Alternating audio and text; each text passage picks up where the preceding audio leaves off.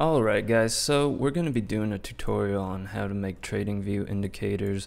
I see a lot out there, but they just, they don't really resonate with me, so I'm going to be doing a series on how to create TradingView indicators that actually kind of like do stuff. So this first one's going to be just for beginners, so if you already know a lot of the basics, then this one just really isn't for you. But I would encourage you to look at the up and coming ones that are going to be focusing on purely strategy or alerts or all basically all the fun stuff, the more the more complicated stuff. So to get started, we're going to be going to TradingView, and if you don't have an account there, you can join for free. Just click that button. Um, you can pay for it. I pay for it. It's actually a pretty solid product, but you don't have to, and that's the most important part. so once you're here, you're gonna see the main screen, and from here, you're gonna want to change the ticker up in the top left over here, you're going to want to change it to something you actually follow. Now this is the S&P 500, but for this example, we're going to be doing Bitcoin to USD because with Bitcoin, it's a 24-7 thing and it is incredibly volatile. So you're going to see a lot more action coming from your indicators as opposed to maybe like Forex or uh, S&P 500, but or or just any like stock in general. So from here, what you're going to want to do is go to the Pine editor down here, click that, and I have this one from the tutorial already loaded, but we don't want that because we're going to make it from scratch. Also, there's a written version, so if you're someone that would rather follow along that way rather than a video, then you can always go there. I'll leave that link in the description or just pop it up on the screen somewhere. But we're going to start with naming and saving. I know it's really basic, but it it's going to come in useful. So down here it says my script. And let's see if we can enlarge that a bit. Yeah, we can. Okay, great. It says my script down here. You're going to want to change that to whatever your script's name is going to be. And we're going to call it ADX cross indicator. So we can also delete this because we won't be using it. We hit Control S, which is going to ask us to save it. I already have one with that name, so that's why it's like that, but you're going to want to save it. Generally, you're going to want to save them as the same. You, you want to stick to the same name, so if you call it ADX cross indicator, you're going to want to save it as ADX cross indicator.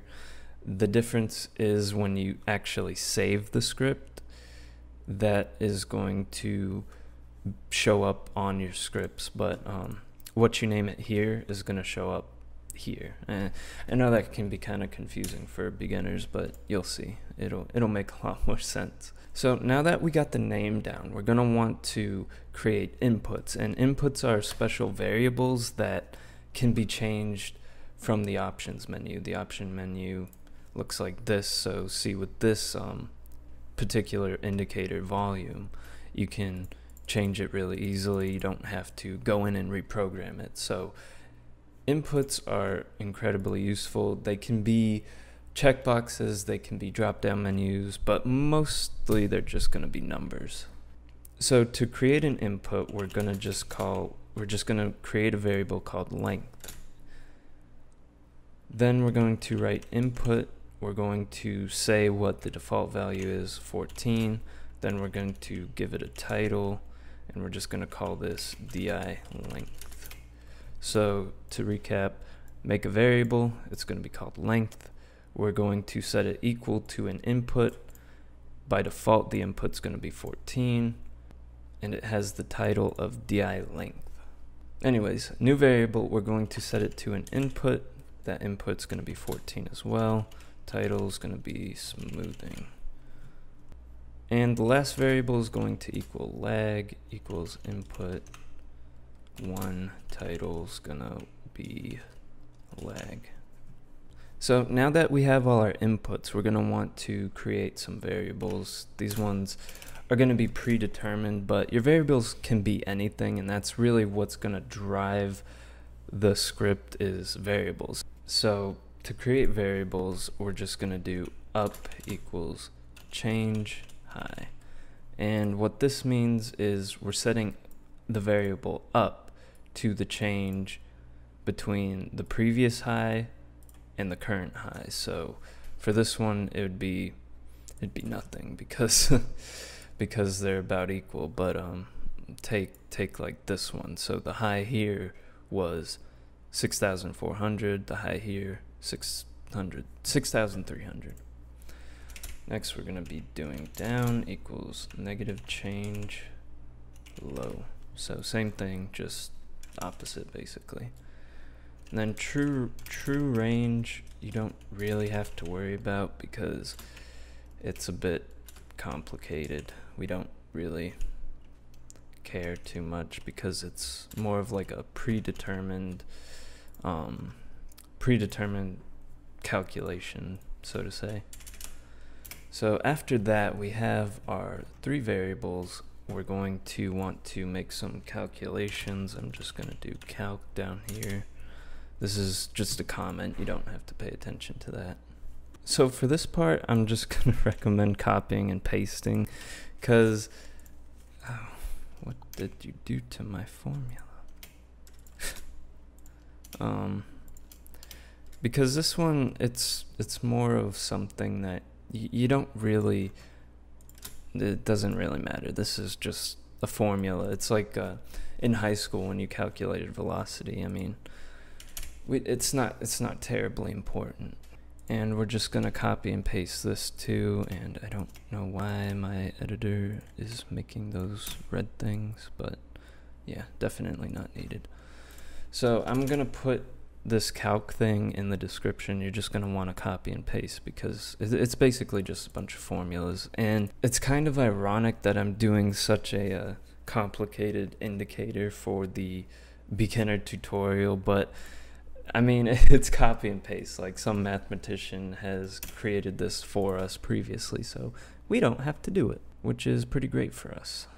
So now we get to the last part, which is actually plotting the calculations onto the chart. So all this hard work, we're going to put it on the chart. So to do that, we need to plot, use the plot function. It's just plot parentheses.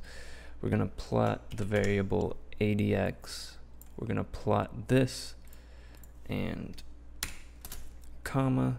We're going to give it a title. Title doesn't matter too much, but we're just going to be extra thorough today. style equals line. And lastly, last argument is going to be color, and we're just going to blue. Make it simple. We're going to hit save, and it is mad. Oh, have an error. I'm going to fix that for the copy and paste.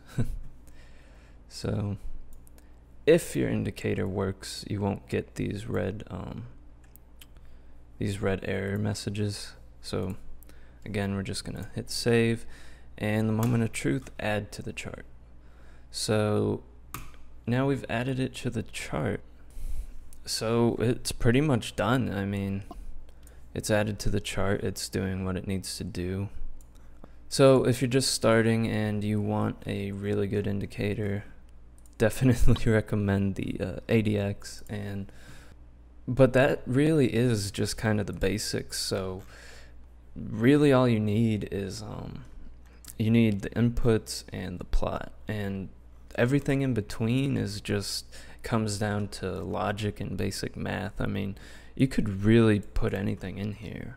If you guys have any questions comments or whatever um, if you have any questions about pine in general i could probably answer it because i've kind of lived on pine for longer than i want to admit the next tutorial I'll be going over strategies and alerts, which is really what um what everyone wants to know is how do I make a strategy and backtest it? How do I increase profit factor, reduce drawdown, good stuff like that. Um, I'll be going over that in the future because really that's way more fun than uh, what we're doing here today. But yeah, again, if anyone has any questions, comments, I'll be sure to answer them. Just leave them down below and I'll see you in the next tutorial.